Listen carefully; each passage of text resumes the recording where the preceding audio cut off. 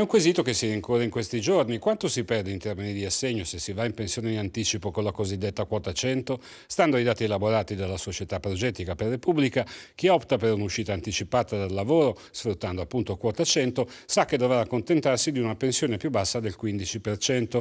Si prende il caso di una persona nata nel 1959 che ha iniziato a lavorare nell'83 che guadagna 1.800 euro. Se va in pensione con quota 100, l'assegno sarà di 1.264 euro contro i 1.481 che otterrebbe andando in pensione nel 2027 con la riforma Fornero. Invece un secondo lavoratore, coetaneo del primo ma che lavora dal 1984, per pochi mesi potrà lasciare l'impiego solo sei anni dopo perché entro il 2021, termine della sperimentazione, non avrà raggiunto quota 100. Le penalizzazioni riguarderebbero anche le lavoratrici che scelgono l'opzione donna per andare in pensione a un'età di 58 anni e 35 di contributi se dipendenti oppure a 59 anni se autonome. Secondo le lavorazioni perderebbero un terzo della pensione rispetto all'assegno previsto dalla legge Fornero e le lavoratrici nate dopo il 1960 non potranno usufruire né dell'opzione donna né della quota 100.